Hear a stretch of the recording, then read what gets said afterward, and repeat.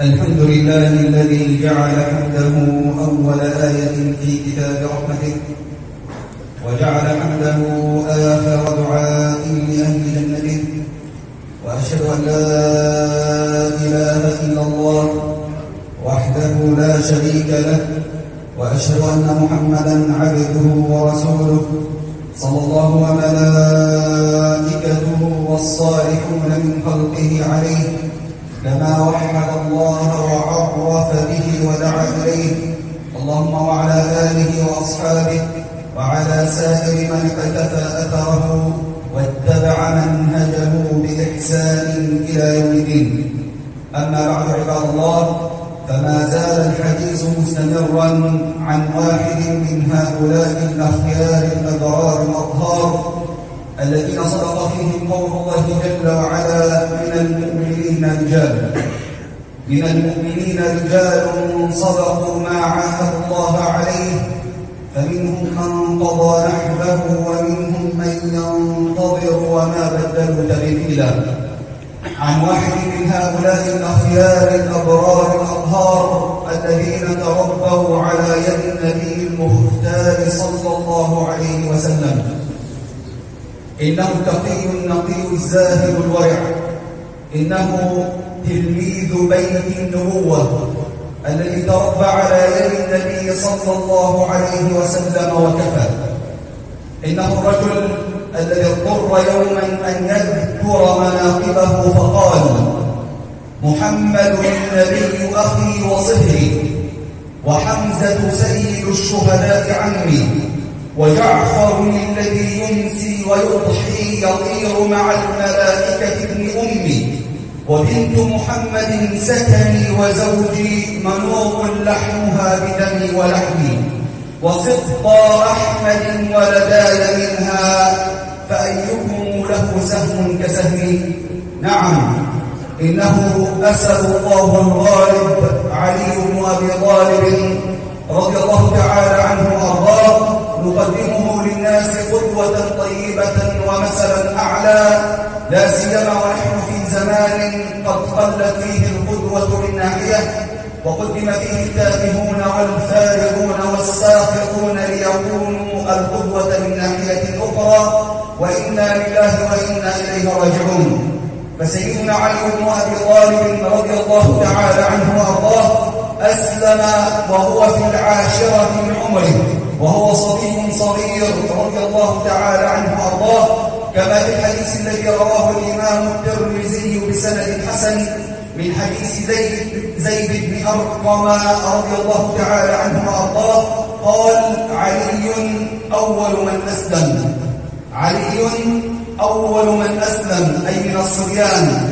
فسيدنا أبو بكر الصديق أول من أسلم من الرجال والسيدة أول من أسلمت من النساء وسيدنا علي بن أبي طالب رضي الله تعالى عنه وأرضاه أول من أسلم من الصبيان. وفي يوم الهجرة تتجلى بطولة أسد الله الغالب رضي الله تعالى عنه وأرضاه وهو في الثالثة والعشرين من عمره. ينام في فراش النبي صلى الله عليه وسلم ويتشف برده الأخضر وهو يعلم يقينا يعلم يقينا أن المشركين سيصلون إليه وربما يقتل ولكن فلتهم نفسه إذا كانت فداء للنبي صلى الله عليه وسلم. وفي العام السابع للهجرة في غزوة خيبر تتجلى بطولة أسد الله الغالب وتظهر مكانته عند الله وعند رسوله صلى الله عليه وسلم وعند المؤمنين الصادقين الذين قال لهم سيد المرسلين صلى الله عليه وسلم من كنت مولاه فعلي مولاه من كنت مولاه فعلي مولاه وكانت خيبر آخر معقل لليهود بالمدينة وكانت من أشد معاقل اليهود تحصينا وطال حصار النبي صلى الله عليه وسلم لخيبر فشق ذلك على أصحاب النبي صلى الله عليه وسلم. اسمع ماذا قال صلى الله عليه وسلم. اسمع إلى هذه الشهادة من الصادق الذي لا ينطق عن الهوى صلى الله عليه وسلم والحديث في الصحيحين من حديث سهل بن سعد الساعدي رضي الله تعالى عنه وأرضاه قال قال رسول الله صلى الله عليه وسلم صلي عليه. قال صلى الله عليه وسلم لأعطين الراية غدا رجلا يفتح الله على يديه يحب الله ورسوله. واسمع إلى هذه الشهادة من الصادق الذي لا ينطق عن الهوى. لو الراية غدا رجلا يفتح الله على يديه يحب الله ورسوله ويحبه الله ورسوله. أي منقبة وأي فضل؟ وأي شرف بعد هذا الشرف؟ لأعطين الراية غدا رجلا يفتح الله على يديه يحب الله ورسوله ويحبه الله ورسوله. وهذه شهادة من الصادق الذي لا ينطق عن الهوى صلى الله عليه وسلم حتى تطلع الصحابة جميعا إلى الإمارة في هذا اليوم رجاء أن ينالوا هذه المنقبة وهذه الكرامة وهذه الشهادة من رسول الله صلى الله عليه وسلم. حتى قال عمر رضي الله تعالى عنه وأرضاه كما في رواية مسلم والله ما تطلعت للإمارة إلا يومئذ رجاء أن أدعى إليها رجاء أن ينال هذه المنقبة من رسول الله صلى الله عليه وسلم. وفي الصباح تطلع الصحابة جميعا من هذا القائد الذي سيفتح الله جل وعلا على يديه يحب الله ورسوله ويحبه الله ورسوله. وشق السكون صوت رسول الله صلى الله عليه وسلم. أين علي بن أبي طالب؟ نعم. إنه القائد. إنه الفاتح. الذي سيفتح الله جل وعلا على يديه. رجلا يحب الله ورسوله ويحبه الله ورسوله. أين علي بن أبي طالب؟ قالوا لم يأتي يا رسول الله يشكو وجعا في عينه. قال أرسلوا إليه. فأتى سيدنا علي بن أبي طالب فمسح النبي صلى الله عليه وسلم بيده الشريفة على عينه فبرئت كأن لم يكن بها وجع. صل على الصادق. صلى الله عليه وسلم.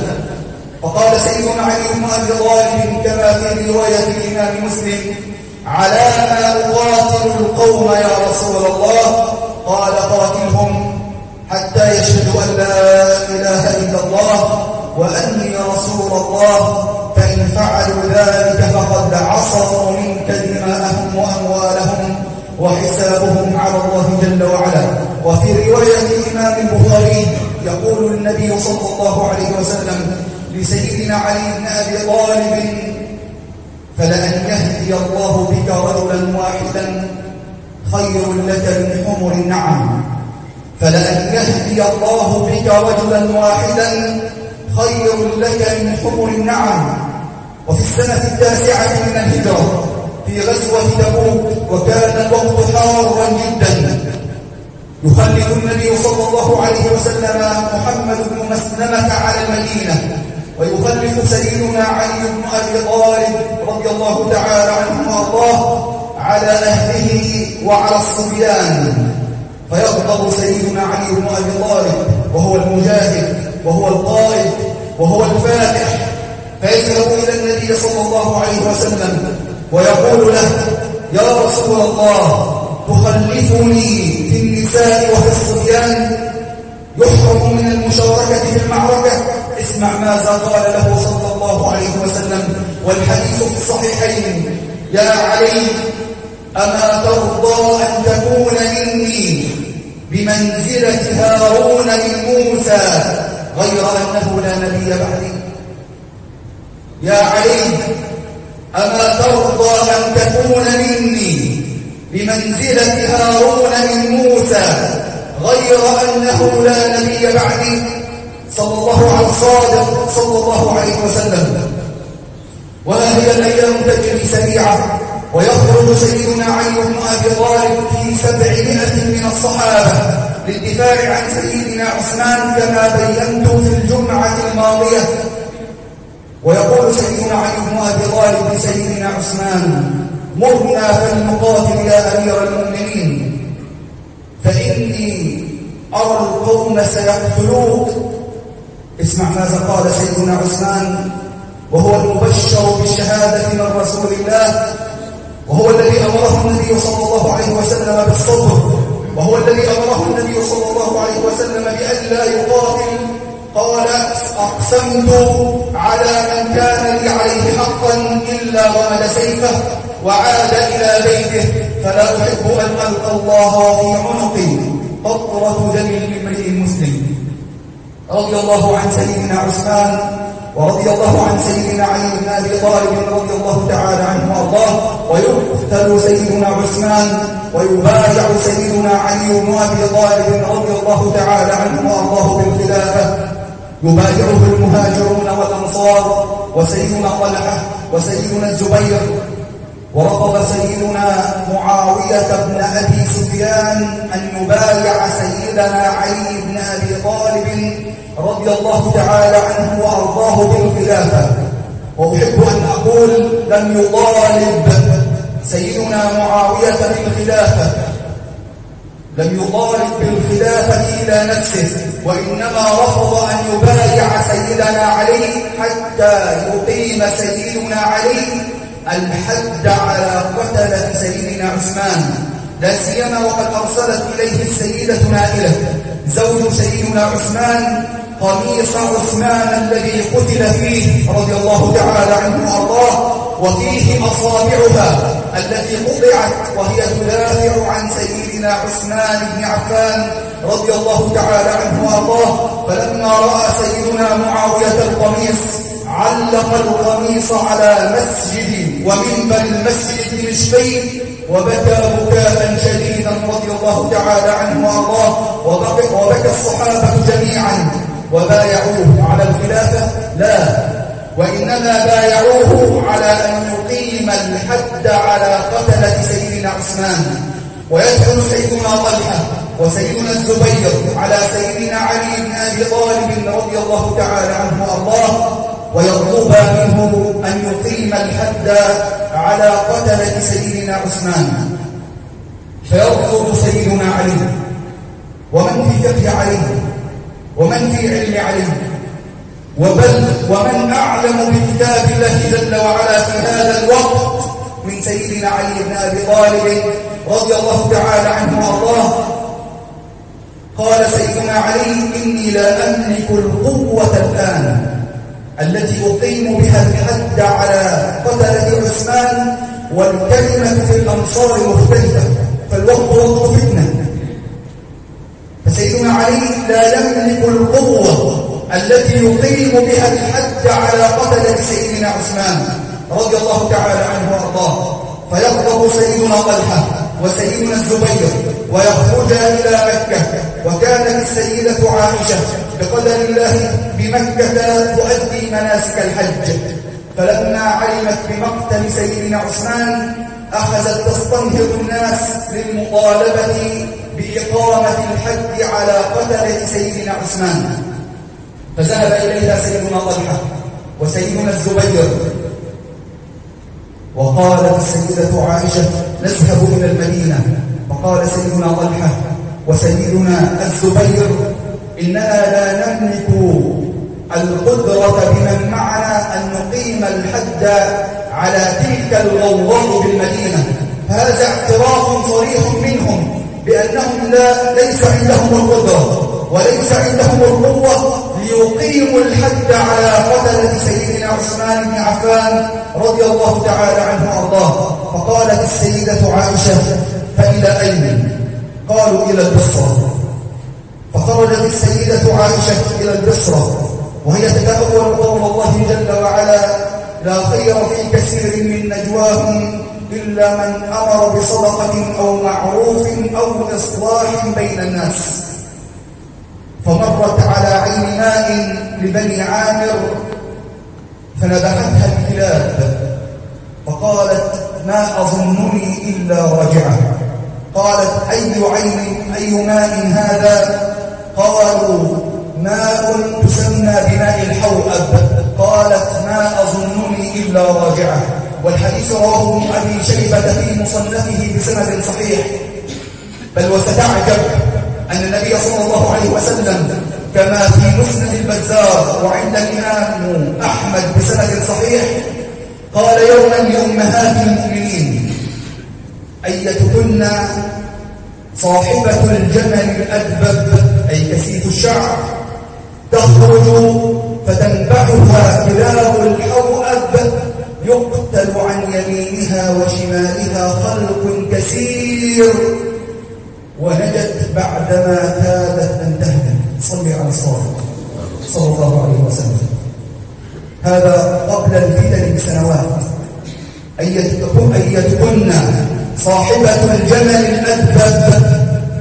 أي كثيف الشعر تخرج فتنبحها كلاب الحوأب. يقتل عن يمينها وعن, وعن شمالها. خلق كثير وتنجو بعدما كادت أن تهلك. فقالت ما أظنني إلا رجعه فألح عليها وقال نحن ما خرجنا إلا للإصلاح فذهبوا إلى البصرة.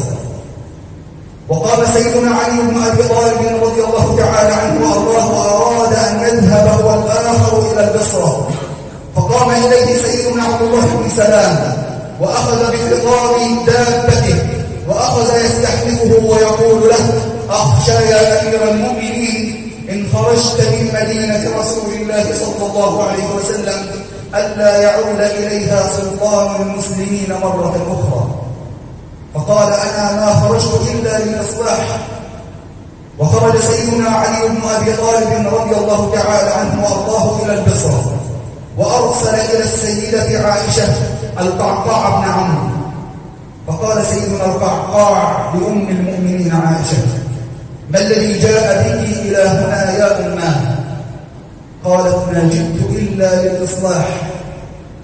فقال أرسلي إلى طلحة والزبير. فأرسلت إلى طلحة والزبير فقال إني سألت أمنا أم المؤمنين عائشة وقلت لها ما الذي جاء بك إلى هنا قالت ما خرجت إلا للإصلاح قال ونحن والله ما خرجنا إلا للإصلاح فقال سيدنا القعقاع وعلى أي شيء يكون الإصلاح؟ قالوا على أن يقيم علينا الحد على قتلة عثمان. فلو تركنا ذلك كان تركا منا للقرآن. اسمع إلى الفقه وإلى العلم.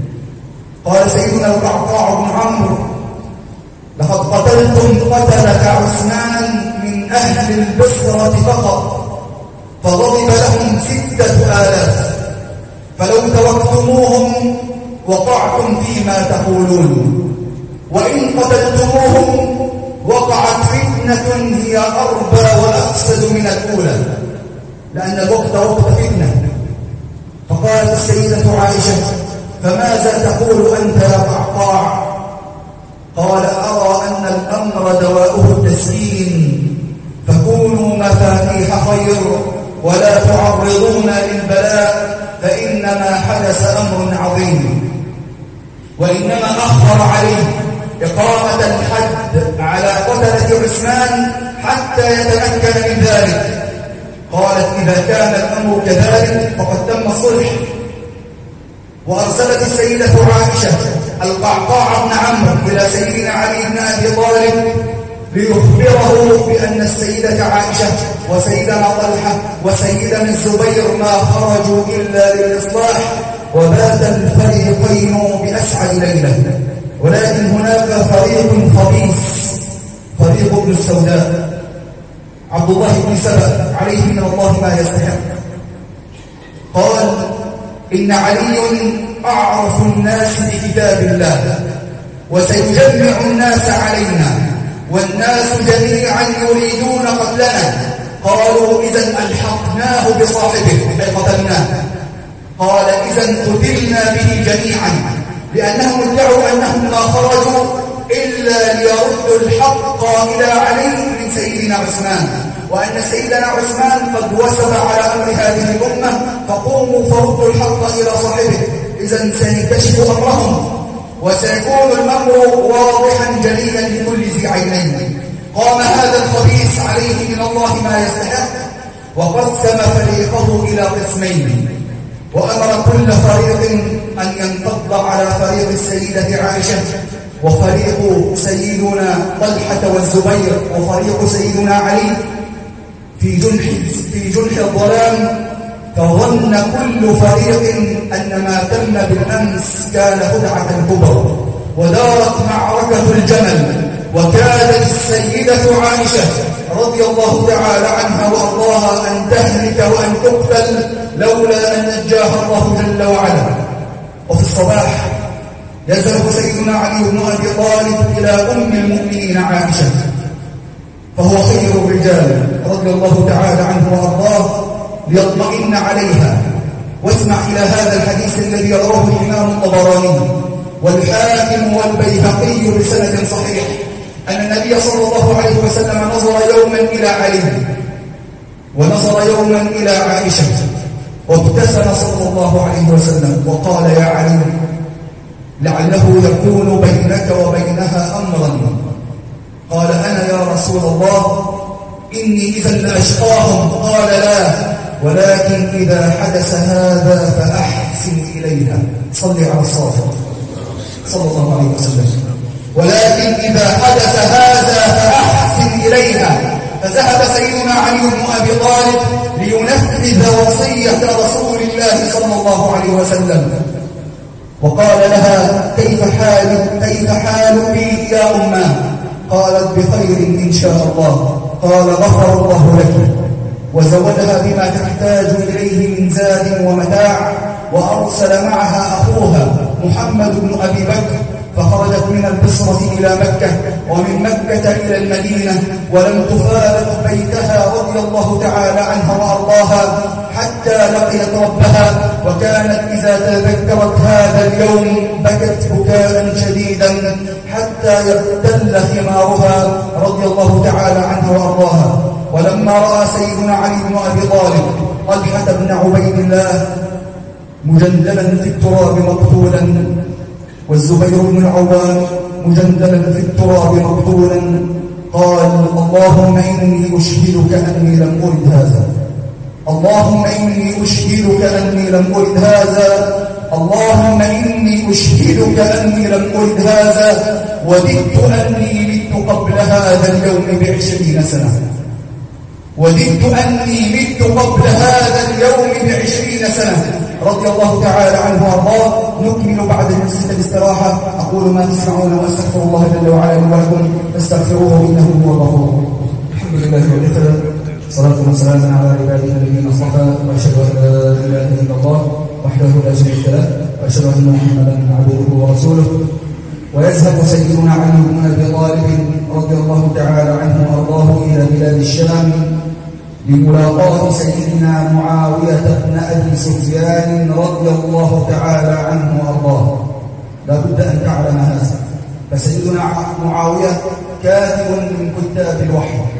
وصحابي من أصحاب النبي صلى الله عليه وسلم وإنما ما حدث كان فتنة عظيمة وقد أخبر صلى الله عليه وسلم عنها بأنها أمارة وعلامة من علامات الساعة واقتتال فئتين عظيمتين من المسلمين.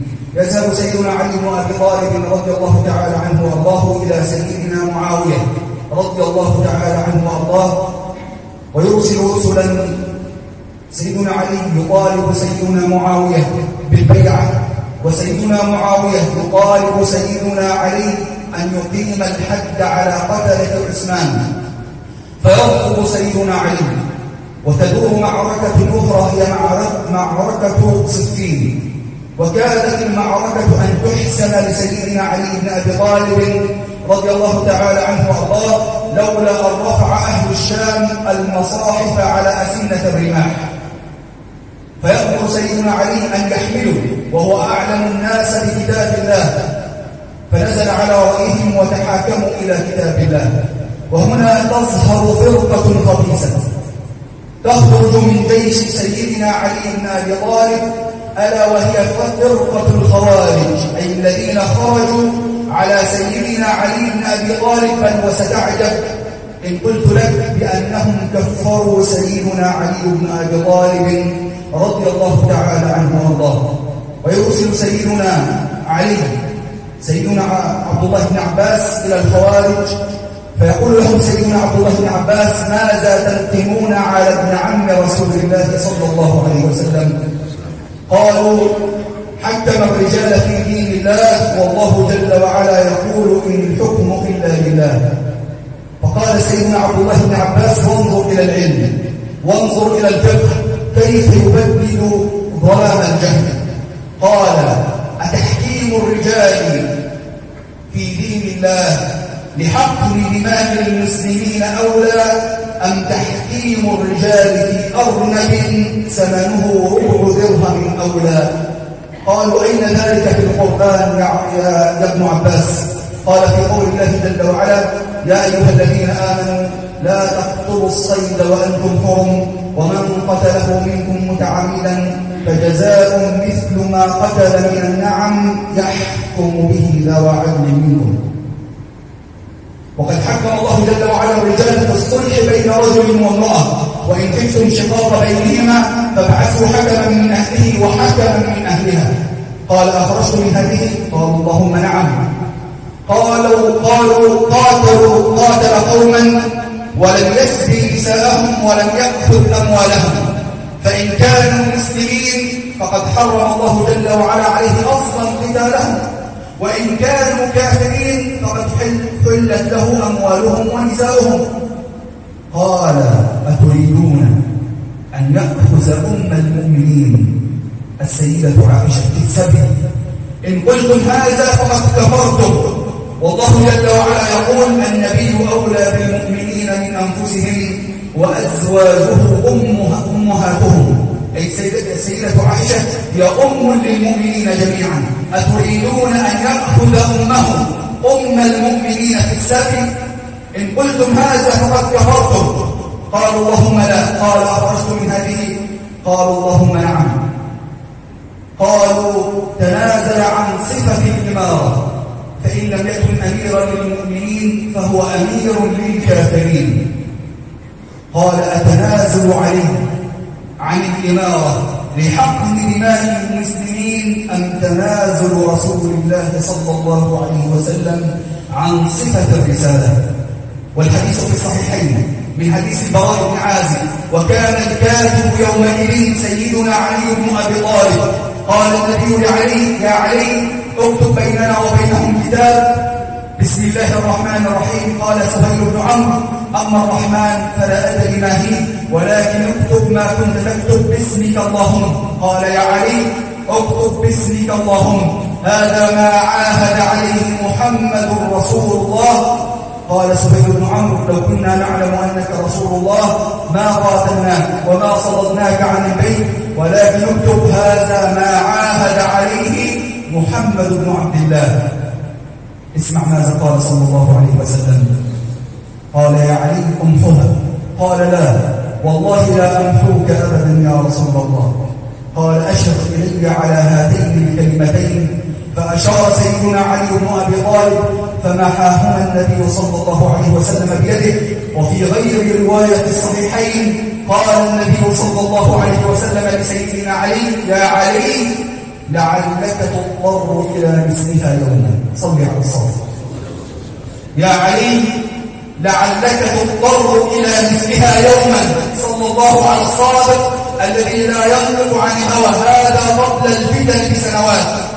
صلى الله عليه وسلم.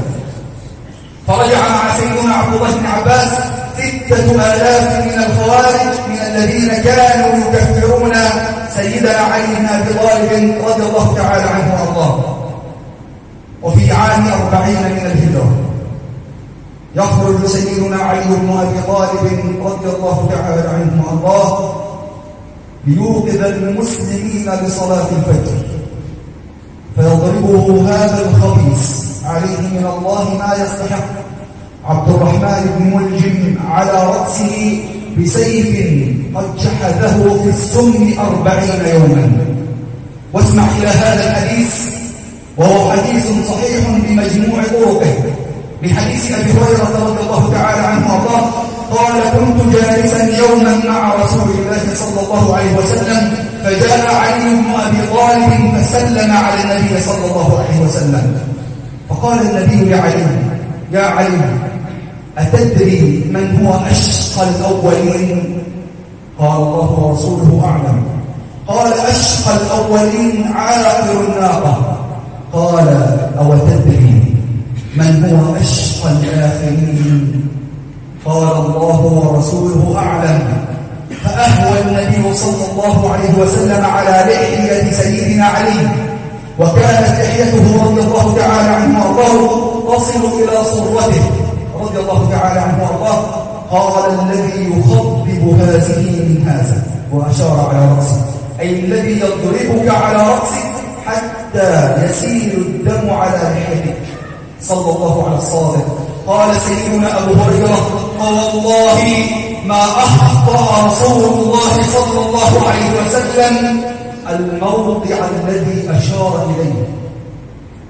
الموضع الذي أشار إليه صلى الله عليه وسلم هو نفس الموضع الذي ضرب عليه سيدنا علي بن أبي طالب رضي الله تعالى عنه وأرضاه. ويحمل الأسد إلى علي ويستدعي أولاده ويوصيهم بهذه الوصية الجميلة. اتقوا الله ولا تموتن إلا وأنتم مسلمون. واعتصموا بحبل الله جميعا ولا تفرقوا. الله الله في القرآن. لا يصدقنكم إلى العمل صادق. الله الله في الفقراء والمساكين. الله الله في الفقراء والمساكين. شاركوهم في أموالكم ومعاشكم. مروا بالمعروف وانهوا عن المنكر. وأخذ رضي الله تعالى عنه وأرضاه يردد الشهادة. أشهد أن لا إله إلا الله وأشهد أن محمدا رسول الله حتى فرضت روحه إلى باريها. جنات ونهر في مقعد صدق عند مليك مقتدر. كما أخبر بذلك الصادق الذي لا ينطق عن الهوى صلى الله عليه وسلم أبو بكر في الجنة وعمر بن الخطاب في الجنة وعثمان بن عفان في الجنة وعلي بن أبي طالب في الجنة. صلى الله على الصادق صلى الله عليه وسلم. ويمن الله جل وعلا على أمة الإسلام بالحسن بن علي رضي الله تعالى عنه وارضاه فيتنازل عن الخلافة بسيدنا معاوية بن أبي سفيان كما أخبر بذلك الصادق. كما أخبر بذلك الصادق الذي لا ينطق عن الهوى. كما في صحيح البخاري أن النبي صلى الله عليه وسلم حمل يوما الحسن على يديه وصعد إلى المنبر فأخذ ينظر إلى الناس وينظر إلى الحسن ثم قال صلى الله عليه وسلم إن ابني هذا سيد إن ابني هذا سيد وسيصلح الله جل وعلا به بين فئتين عظيمتين من المسلمين. صل على الصادق صلى الله عليه وسلم. فلم يخرجهما النبي صلى الله عليه وسلم من الإسلام بل ولم يخرجهما ربنا من الإيمان. قال الله وإن طائفتان من المؤمنين اقتتلوا فأصلحوا بينهما فإن بغت إحداهما على الأخرى فقاتلوا التي تبغي حتى تفيء إلى أمر الله فإن فاءت فأصلحوا بينهما بالعدل وأقسطوا إن الله يحب المقسطين. أعطوا ضريبتهم للدين من دمهم ونحن نزعم نصر الدين مجانا أعطوا ضريبتهم صبرا على محن صارت بلالا وعمارا وسلمانا. عاشوا على الحب أفواها وأفئدة.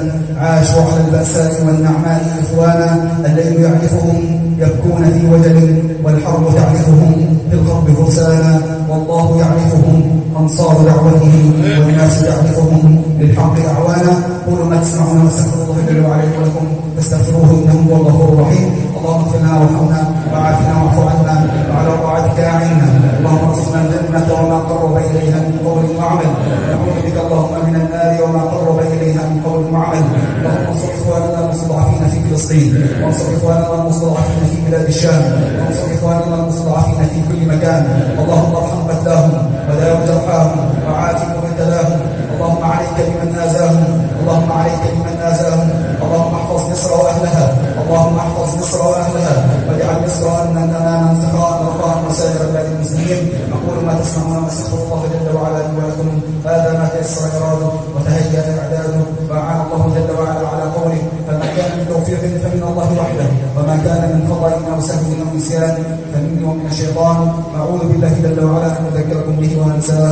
nossa